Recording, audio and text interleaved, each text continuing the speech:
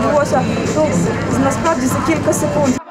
Акція на 8 березня запроваджінок, яка обіцяла бути мирною, перетворилась на суцільну провокацію, як і торік без ексцесів не обійшлося. Іронічно, що на акції проти насильства над жінками на них же скоюють напад. Учасниці кажуть, готові були спілкуватися з усіма, кого їх позиція не влаштовувала, але не до таких інцидентів. Якщо тобі не подобається ідея організаторів акції, і ти не погоджуєшся з лозунгами і з якимись мотивами, з якими вони приходять, ти можеш прийти е, напроти них і стати і сказати, я з вами не погоджуюся, стати зі своїм плакатом і провести контракцію. Ми готові до діалогу.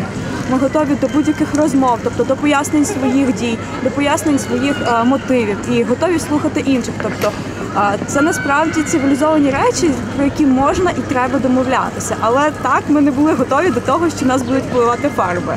Кільком учасницям фарба потрапила просто в очі. За допомогою їхали і до лікарні. Нам капнуло, тому що це спеціально визначили шість разів капати, спеціально я не пам'ятаю, як називається, але спеціальну не найбільше постраждала організаторка Віталіна Коваль. Дівчині добряче хлюпнули фарбою в обличчя. Медики діагностували легкі опіки. Повністю всі руки зіпсовані. Ну тут ще трошки штани, але це вже не так багато. Шапка, як ви можете бачити, очі. Так, ось. І тут є фарба навіть в очах. От ви можете тут побачити.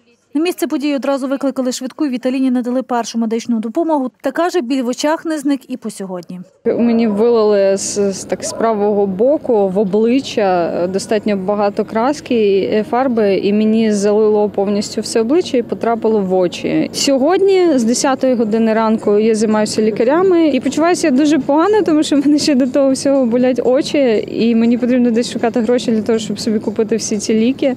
А у пані Анастасії про інцидент нагадує волосся. За, у нас є ці всі фотки, Илдика может вам скинути.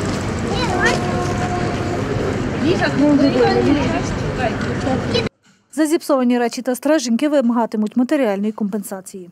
Будемо вимагати компенсацію моральної шкоди, тому що ми фактично півтора сутки потратили на те, щоб займатися своїм здоров'ям, і зіпсовано повністю наш одяг, взуття і сумочки. Тому що було 8 березня, всі були вдягнені святково, святкове вбрання зіпсовано. Про те, що відбувалося під час акції за права жінок, тут ще нагадують залишки фарби. Вона і на землі, і якщо приглядітися на стіні театру. Як нам сказали в поліції, ймовірними підозрюваними є четверо дівчат, одна з яких неповнолітня.